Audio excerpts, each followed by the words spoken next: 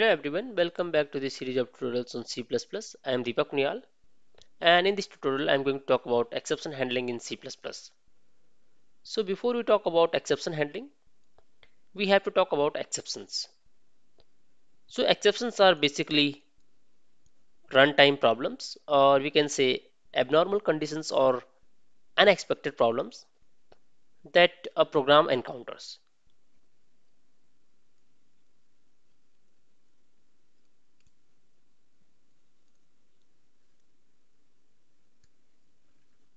So to understand all these things, let's discuss a famous and common example to understand the concept of exceptions.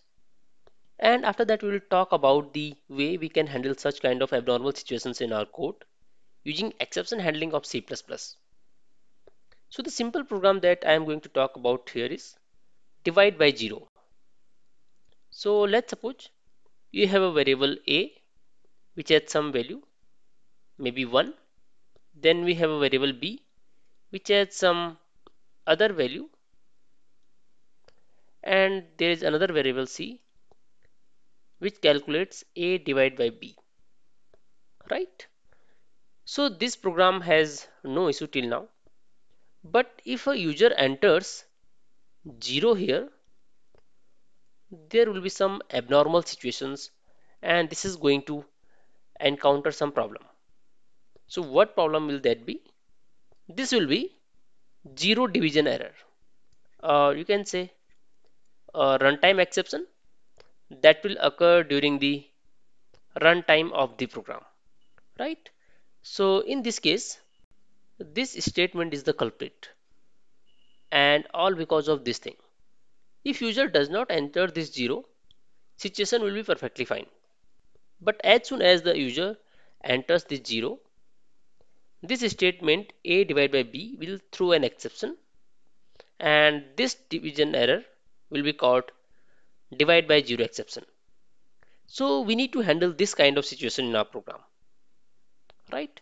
So that we can create a robust and fault tolerant program, right? But if we don't handle these kind of situations, our program will terminate abruptly and prematurely right? So this was one kind of exception that a program could have. There are some other common type of exceptions. Suppose you have a new operator and you want to allocate some space. But what will happen if this new operator is not able to find out the specified space? So in this case it will throw an exception Similarly, suppose you have a vector and you are trying to access some space out of this on both side of this array or vector. This is also going to throw some exception which could be out of range exception, right? But in C++ we have specified or standard mechanism for handling these kind of errors or exceptions which is called exception handling. And this is especially important when you are working on a project with a large team of programmers. So to begin understanding all these things, we should understand some terms that are important for knowing the concept of exception handling. So first term that you should understand is try, second, catch, and third, throw. So this try is basically a try block which is written like this. So to handle any exception that might throw an error should be placed inside this try block. And whenever we have a try block, it should have some catch blocks. You could have one catch block or it could have multiple catch blocks, right? So if you have one catch block, you could have another catch block and these catch blocks are used to handle these exceptions that are raised in try block. So you could have multiple catch blocks to handle multiple kind of exceptions that are raised inside try block. Right? So if you use try and catch block, your program should look like this. Try and here should be some code suppose you have two variables a b so you are going to write a divided by b here and you have another variable c also. So you should write this code inside this try block because this might throw exception. And this would be succeeded by catch block which will handle this exception. Or if it has multiple exception then it could have multiple catch blocks right? Like it could handle divide by zero exception and it could handle like out of range exception. So there could be multiple catch blocks. If everything goes fine inside this try block all these catch blocks are ignored right? So it means if everything is going fine here user does not enter 0 in the b then neither this catch will be executed neither this catch will be executed.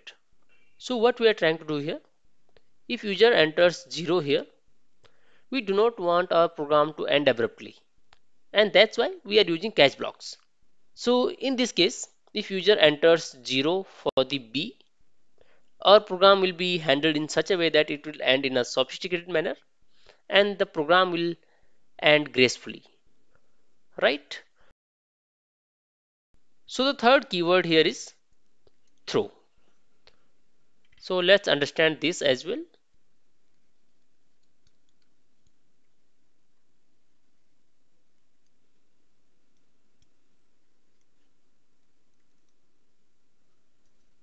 So this throw is used to throw an exception to the exception handler. Or it is used when we explicitly want an exception to occur.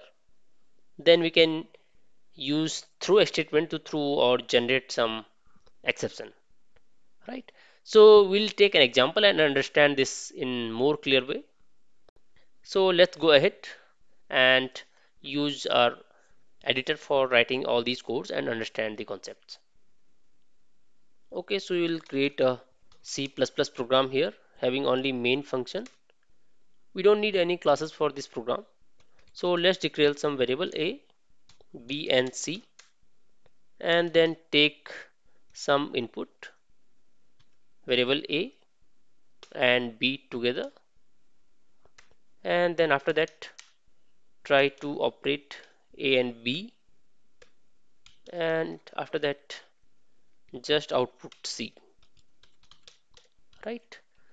So let's try to compile this program. Program is compiled successfully. Now run this program. Enter some values. For A I am entering 5 B 5 and answer is 1 so till now this program is running fine. Try to execute it again. I am entering 5 for A and 0 for B and now you can see there is some exception and it's floating point exception because there is no standard exception known as divide by zero exception in C++ so it's showing us floating point exception right? But program has abruptly ended and now we need to handle this in some way. So what we are going to do we need to use our try and catch blocks. So you can see this is the line where we are trying to divide a by b and this line has resulted into this exception.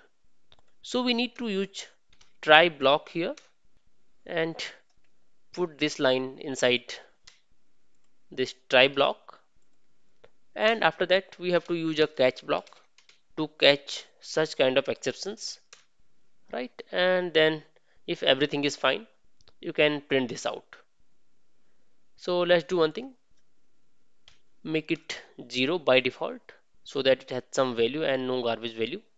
But as C++ has no standard division by 0 exception so we are going to use throw keyword here when b equal to 0 so use a if statement and throw some value from here. So if you want to throw b or a you can do it. So I am throwing b but as you are throwing b it's a integer. So you need to catch integer here. So I will write int and then e for exception or maybe you can write exp. So its type is integer. And then you can print some message here. And I'm writing division by 0 not accepted. So this is the custom message that I am printing here right? Now try to run this program again. It has compiled successfully. Now try to enter values for a and b. And here is the message. Division by 0 not accepted. And this is 0 we are getting it from here. Because we have assigned c equal to 0 right? Now looking at this output you can see that user will never know that this program has failed at runtime and has resulted in abrupt ending. And user is just going to see this message right? So we are using this try catch block for a graceful or sophisticated termination of a program right? You can write this program in some other way. I will just copy this and comment this whole thing so that you have this program to run after this. What you can do you can pass this message from here as well or maybe change something at this place you can make your custom exception. So I will write division by zero error or exception right? So you have made your custom exception at this place but now you have to handle it in some other way. You have to write const char star and then maybe c and then you can print c here right now try to execute this program again. I'm entering 5 and 0 and you can see division by 0 exception right? So you can create such kind of custom exception on your own. You can also use multiple catch blocks. So let's try doing that as well. So I am just copying this and commenting whole thing so that I can write another program here. So what I will do I have two values here in this array minus 1 and 2 using this loop I am trying to iterate over this array. So till it's less than or equal to 2 I am not using equal to here because i equal to 0 is for this i equal to 1 is for this part.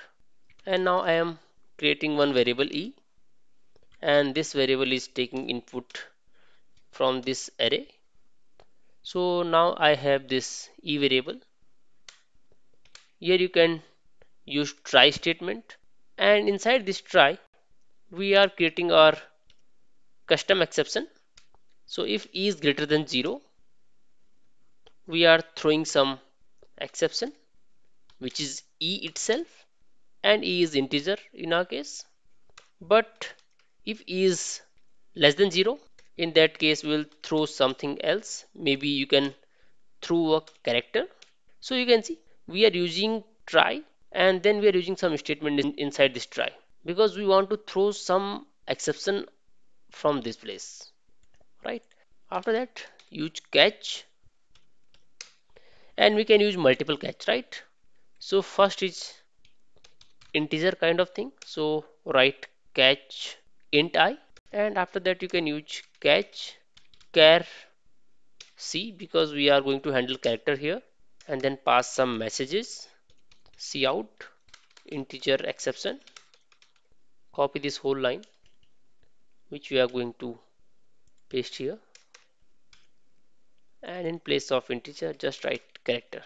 So now just try to pause this video and try to guess the output of this program. So you can see we have first value is minus 1 and another 2 so one is greater than 0 another is less than 0 so if e is greater than 0 means if a value is greater than 0 it is going to throw a integer kind of value. But if it is less than 0 it is going to throw character value. So first time it will print char exception and second time it will print integer exception. So we'll try to compile this program and now run it.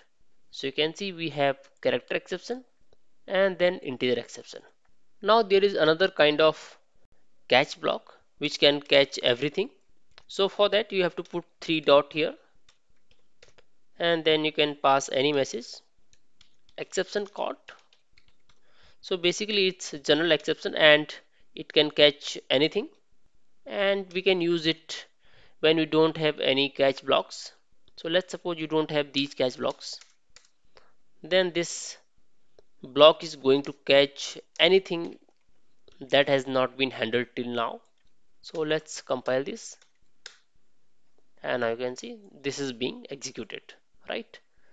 But if we have other blocks like integer and character then of course these exceptions are going to be handled here right?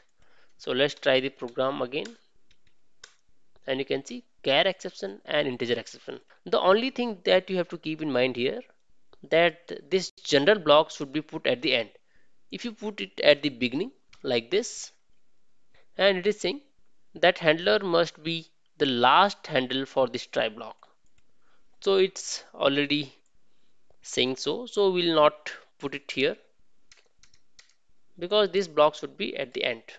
Otherwise what it is actually trying is trying to handle everything at this place. And we'll have no use of these right? So always put this catch block which is a general catch block at the end right? So now as you have seen some examples of exception handling I hope you might have got an idea about this. And it seems that this lecture is bit lengthy so we'll talk about few other things in next lecture. If you have any doubt till now you can write in the comments and I will try to answer back. So see you guys in the next video. Till then thank you so much